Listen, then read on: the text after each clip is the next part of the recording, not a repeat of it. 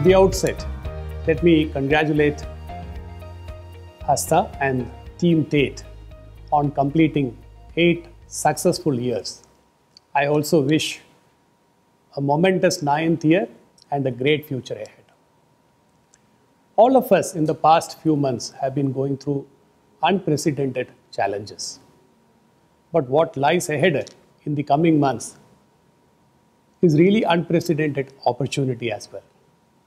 So, how do we capture the growth and the value from this opportunity? So, the first thing that comes to my mind is really embedding digital in every aspect of our business. Not because it's fashionable to do.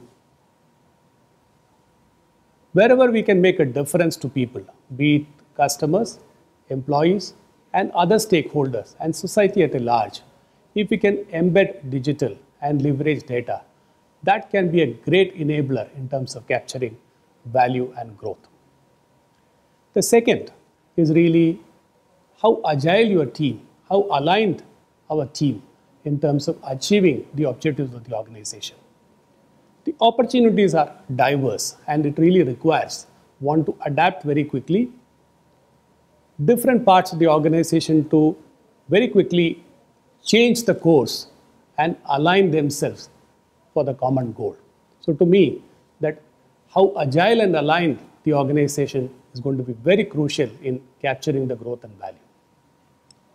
The third and the last is really how do we overcome the biases in our decision making?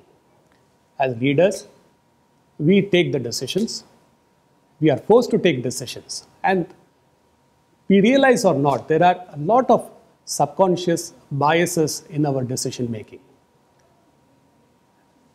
We may be extremely experienced, but the more experienced we are, the more biases we have because our brain is hardwired through so many of so those experiences in terms of creating those biases. So how do we overcome that?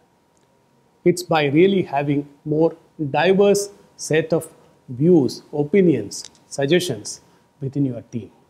So it is very important as leaders for us to really have diverse set of opinions, diverse set of views coming within our team. So are we really building a team which can really provide a diverse set of views is going to be extremely important if we really want to have an excellent journey forward in terms of capturing value and growth.